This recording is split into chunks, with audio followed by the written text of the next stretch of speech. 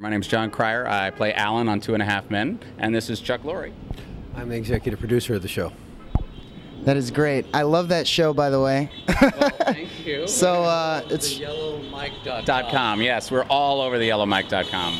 There's the past and there's the future, and uh, I think probably more important than anything is the future. They're uh, essentially their position is to uh, give us no participation in new media, the internet or any of that kind of thing, which is pretty ludicrous. You know, when you when you create something for somebody, and then they go off and make a lot of money on it, to suggest that they shouldn't participate in any way, shape, or form is pretty offensive. Certainly.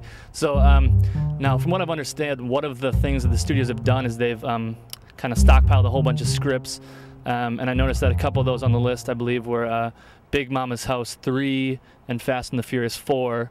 And I just want to make sure nothing you guys are doing out here is going to affect those from being released. Is that is that correct? I'm sure it will not.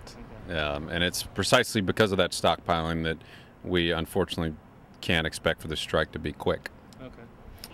And of course, everybody knows the internet is going to be replacing TV and home video within you know 10 or 15 years completely.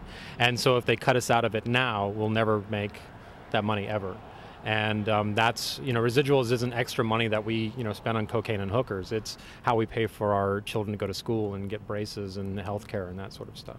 Right, it's the it's the paycheck that we spend on cocaine and hookers, exactly right? The, right. the residuals, right? The residuals, what you, you gotta you gotta bank it before you can spend exactly it. It makes right. sense. Well, the producers are acting like you know, uh, with product that's on the internet or podcasts, they're saying that this is really promotional material as opposed to product in and of itself. I mean, this is the future, you know, it's, and they're acting like, well, this only serves to promote the product that's on the network, whereas the network or television is becoming the dinosaur. So to act like it isn't in order not to give the writers, you know, a, a, fair percentage of that. You know, there wouldn't be this material on the internet and podcasts if there wasn't someone to write it. So. And if you can watch an entire episode of your favorite show on the internet, brought to you by Target, you know. know. Well, we had talked about the idea of having Paris Hilton do an interview in infrared but um, that's probably not going to see that. So, uh, so no goes there. Well, we might do it now because we have the idea. Scab.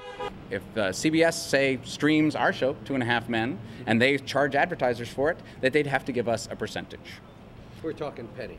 Pennies, exactly. Pennies, a yeah. tiny, tiny little percentage. Because as of now, they give you get zero. Zero. Zero. Yes. Well, I would always get zero because I don't actually write my show. Uh, but he As would get. actor, A, you would get a zero too. I would get a zero as well because the Directors actors. would get uh, zero. And in June, uh, the SAG contract comes up, right? And the DGA.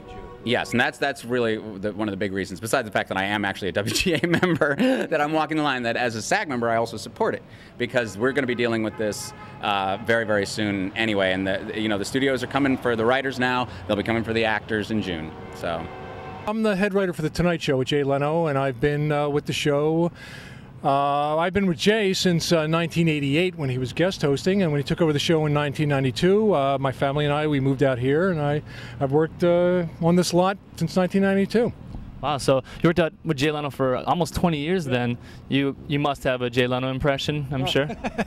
Everybody's got one. It's, yeah, how you doing? Yeah, I mean, I, mine is terrible, but uh, you know, he's, he's very easy to uh, to do an impression of.